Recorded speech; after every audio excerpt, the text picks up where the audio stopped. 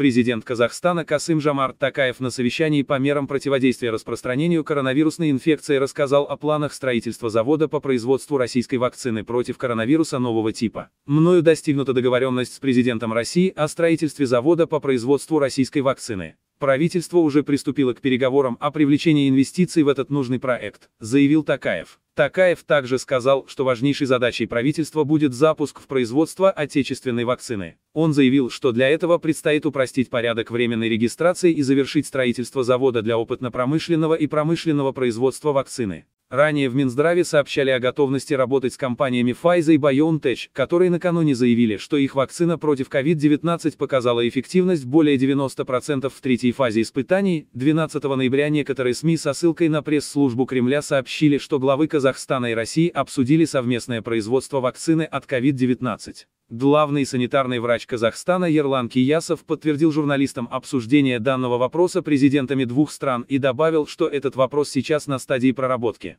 В августе президент Казахстана Касым Жамар Такаев заявлял, что к началу осени в Россию направит делегацию для переговоров по закупке российской вакцины. Это вызвало вопросы в обществе. После Минздрав выступил с заверениями, что Казахстан не планирует закупать препарат до завершения всех испытаний. Тем не менее, в конце августа стало известно, что Казахстан подписал соглашение о взаимопонимании с Россией о выделении Нур-Султану российской вакцины от коронавируса, финальные испытания которой пока не завершены. Мировое медицинское сообщество, в том числе Всемирная организация здравоохранения, выразила обеспокоенность в связи с регистрацией российской вакцины, которая не прошла все необходимые стадии испытаний. По данным казахстанского Минздрава, на сегодня в мире разрабатывается уже известных и подтвержденных 198 вакцин кандидатов и по 42 вакцинам проводятся клинические исследования на людях.